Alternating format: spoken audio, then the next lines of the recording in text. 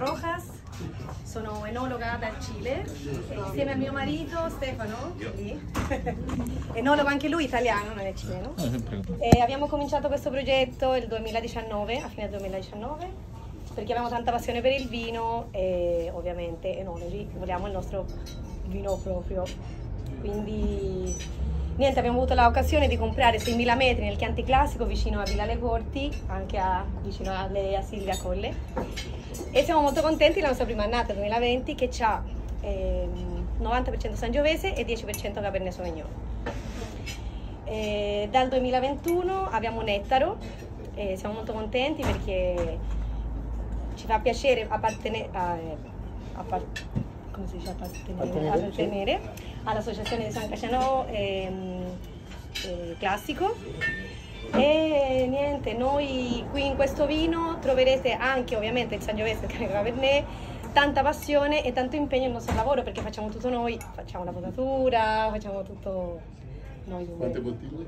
Facciamo 2000 bottiglie, soltanto la nostra prima annata e mh, troverete tanta passione e impegno nel nostro lavoro. Poi vogliamo anche, anche se siamo enologi no, no, eh, giovani, eh, vogliamo trasmettere la nostra passione, però comunque rispettare il territorio del Chianti Classico, perché ovviamente è molto importante fare questo vino che eh, rispecchia il territorio, ecco.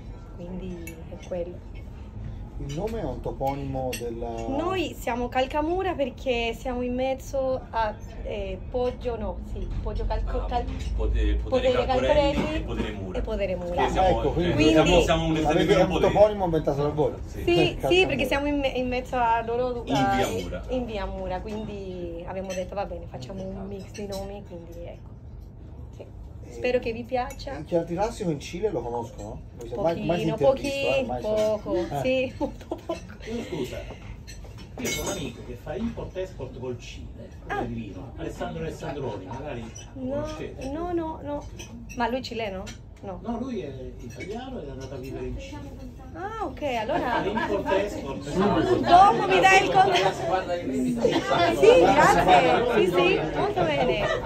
Bene, grazie. Quindi spero che vi piaccia. Ora se puoi parlare bene Sì, del nostro vino e se avete qualche domanda, poi sono stata molto breve perché poi voglio che anche mangiate. Ah, dice qualcosa dell'olio che poi lo serviamo? L'Ole, la nostra prima annata, il 2022. ehm, le varietà sono le tipiche Sì, toscane. Moraiolo, Leccino. Moraiolo, Leccino. E abbiamo tanto Moraiolo. che abbiamo fatto, sì, la nostra prima annata in realtà. Non è, sì, è molto espressiva, però sì, nel senso.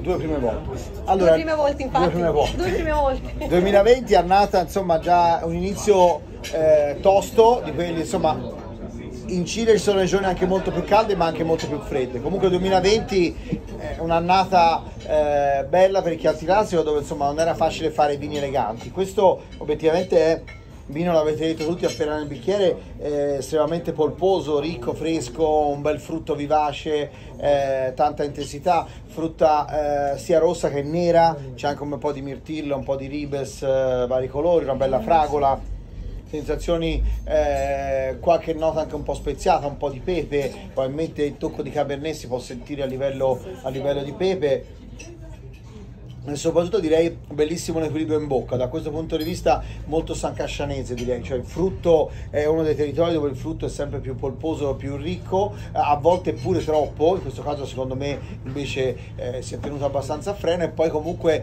nonostante l'abbondanza di frutto resta molto fresco e molto vivace nel, nel palato la prima, ma la prima è facile eh? Perché Ecco, ecco. la prima è andata però bravi.